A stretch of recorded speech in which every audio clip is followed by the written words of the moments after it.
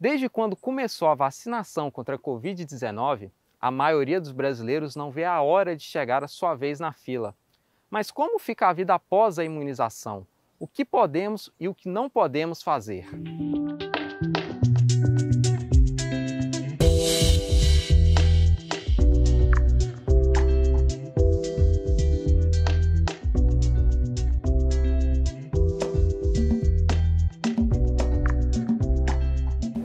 Pai já vacinou, ele tem 75 anos, já vacinou.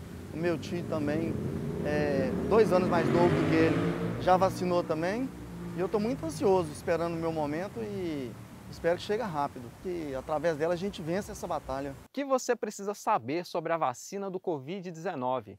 Quem nos orienta é a enfermeira do setor de biossegurança da Univale, Carolina Ferreira.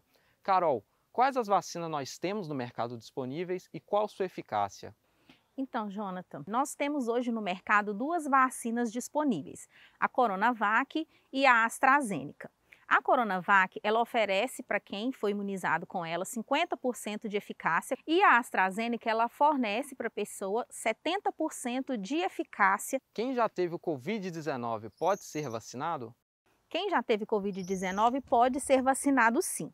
Que precisa ser respeitado é um espaço de quatro semanas entre o primeiro dia de sinal e sintoma ou a apresentação do teste positivo para Covid-19. Após o respeitar desses quatro, dessas quatro semanas, a pessoa ela pode ser imunizada assim tranquilamente.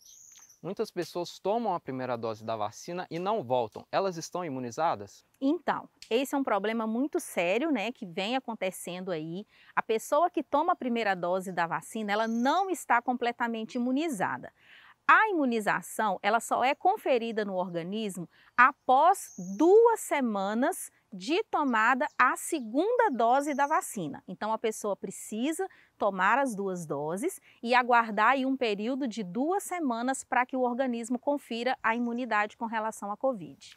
Pode-se tomar outra vacina junto com a vacina do Covid-19? Qual a recomendação? Então, não pode. A vacina da Covid-19 ela não pode ser administrada juntamente com outra vacina. É preciso se respeitar um período de 15 dias entre uma vacina e outra para que não haja uma interação dessas, desses medicamentos. E você continue se cuidando e, se possível, fique em casa.